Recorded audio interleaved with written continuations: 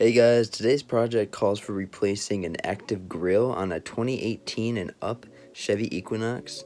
Hopefully this video helps you out. If you happen to like the video, give it a thumbs up and don't forget to subscribe down below today. The first step is to remove your front bumper. If you're not exactly sure on how to do that, I made a bumper removal video.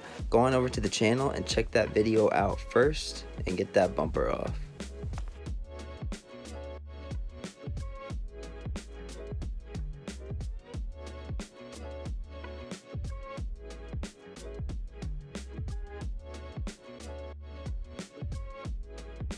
First things first, start by locating the part that you'll be replacing.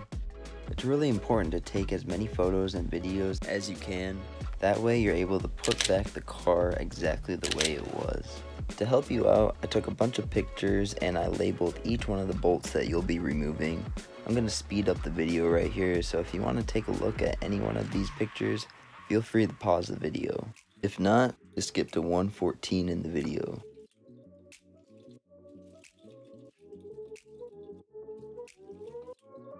Next, remove four 7mm bolts that are located on top of the radiator bar. We got one, two, three, and four.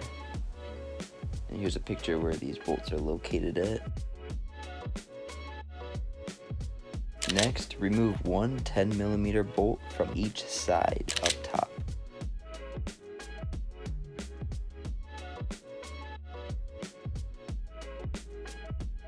Once you have those two bolts removed, work your way down to the middle of the vehicle to the vertical bar that spans from the top to the bottom of the active grille shutter and remove two 10 millimeter bolts.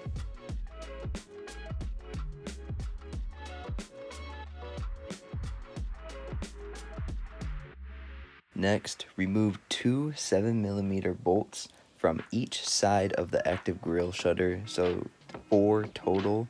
And there's also a push pin that you'll have to remove on the passenger side, the right hand side of the vehicle.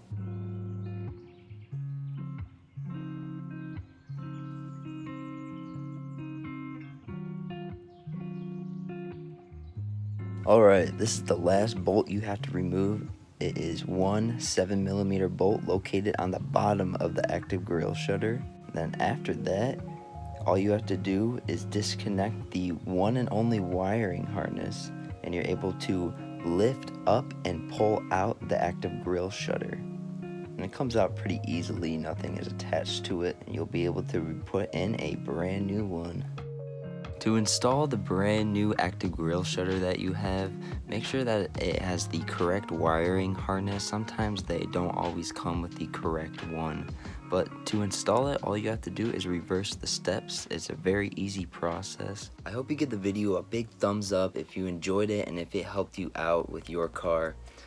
Don't forget to subscribe down below today for more videos just like this. And while you're at it, check out our channel and see what we're all about. We have a lot of cool cars on the channel, such as a FRS, a Mustang 5.0, a Chrysler 300 SRT8, and a Hyundai Genesis Coupe. Thanks for taking time out of your day to watch this DNA Drives video, and we'll catch you next time. Take care.